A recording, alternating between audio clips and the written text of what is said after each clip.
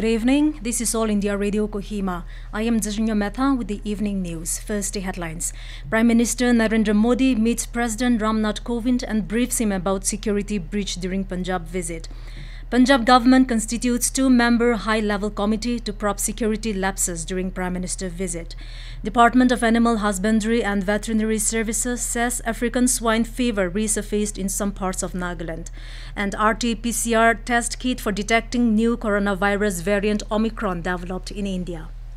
As India marches towards administering 150 crore vaccine doses against COVID 19, news about the new corona variant is a cause of concern. We appeal to our listeners to get fully vaccinated and help others, including children between 15 and 18 years, get vaccinated, as nationwide 19 vaccinations of teenagers is underway now. Please follow these three simple steps. Wear a face mask, maintain 6 feet for social distancing, focus on hand and face hygiene. For any COVID-related information and guidance, contact national helpline numbers 011-239-78046 and 1075 and state helpline number 1800-345-0019. And now the news in detail. President Ram Nath Kovind met Prime Minister Narendra Modi at the Rashtrapati Bhavan today and received from him a first-hand account of the security breach in his convoy at Punjab yesterday. The president expressed his concern about the serious security lapse. After meeting the president, Modi in a tweet said the president's good wishes are always strength for him. Vice President M. Venkaiah Naidu also spoke to Prime Minister Narendra Modi about the security lapse.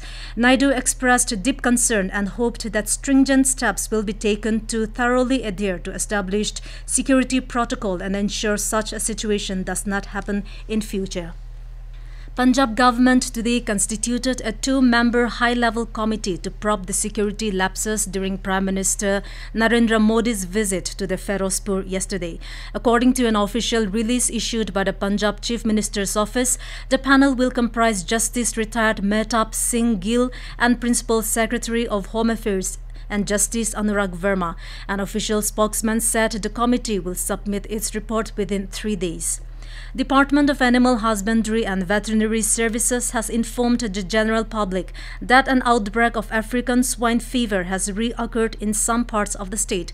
The department said test reports of samples submitted from Longjongkong and Satir villages under Mokokchung districts and Kuzatu village Wazeho block under Phek district has tested positive of African swine fever. The department has requested the public, pig farmers, traders, butchers and other stakeholders to remain remain cautious and report any unusual mortality of domestic pigs to the nearest veterinary office. An RT-PCR test kit for detecting new coronavirus variant Omicron has been developed in India in partnership with Tata MD and the Indian Council of Medical Research ICMR. Briefing media in New Delhi yesterday, Director General of ICMR Dr. Balram Bhargava said the testing kit has been approved by the Drugs Controller General of India. He said this kit test will give results in 4 hours. Nagaland is among 17 states to receive Post-Devolution Revenue Deficit PDRD released by the Finance Ministry today. The state received 379.75 crore rupees. The ministry released an amount of 9,871 crore rupees to 17 states. This was the 10th installment of the PDRD grant released to the states. So far, an amount of 98,710 crore rupees has been released to eligible states as post-devolution revenue deficit grant in the current current financial year. This news comes to you from All India Radio Kohima. You can also listen to this news bulletin on News on AIR app and YouTube channel AIR News Kohima. To commemorate the celebration of 75 years of India's independence, Azadi Ka Amrit Mahotsav, we present India at 75 quiz with AIR News Kohima, a special quiz on India's freedom movement and its glorious history every Thursday in the evening news bulletin. And here goes a question of the week for English News Bulletin. When did India conduct its first nuclear test? I repeat the question. When did India conduct its first nuclear test? Listeners can send their responses to the question to our email airnewskohimaindia75 at gmail.com or WhatsApp to 9485239950 along with name and address. The first correct answer received from the participant will be selected as the winner and will be announced in tomorrow's morning news at 7:30 a.m. Government is skilling India's youth and making them job ready for the requirements of the global market.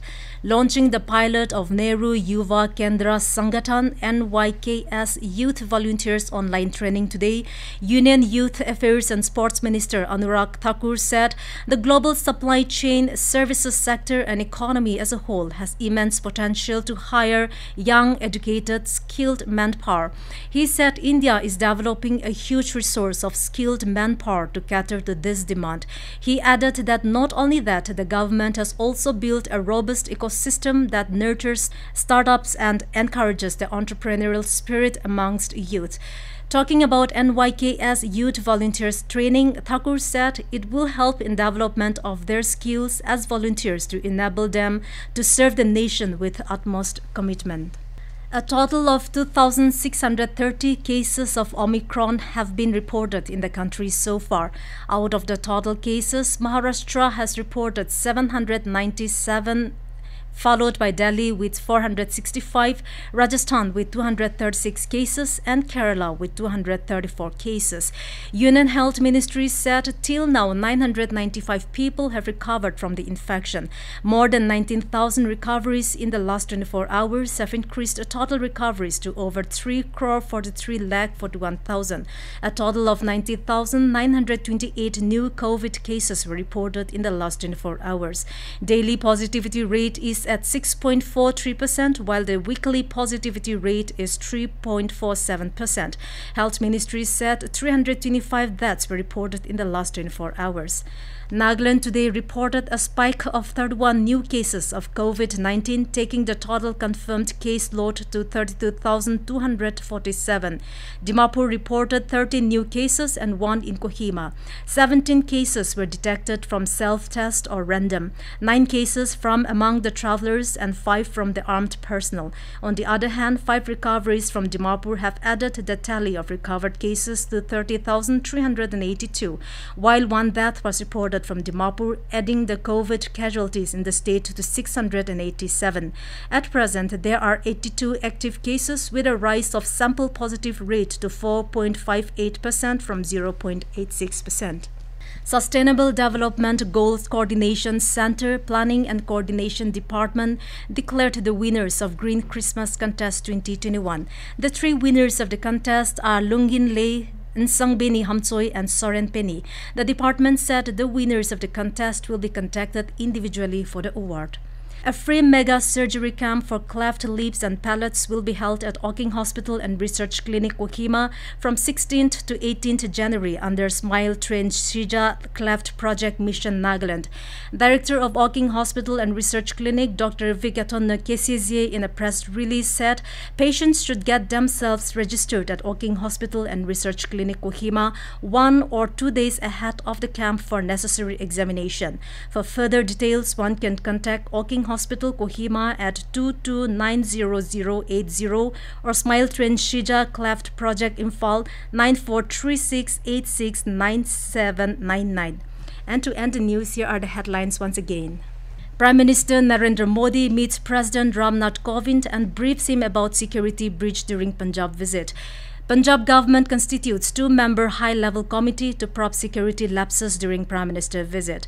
Department of Animal Husbandry and Veterinary Services says African swine fever resurfaced in some parts of Nagaland and RT-PCR test kit for detecting new coronavirus variant Omicron developed in India.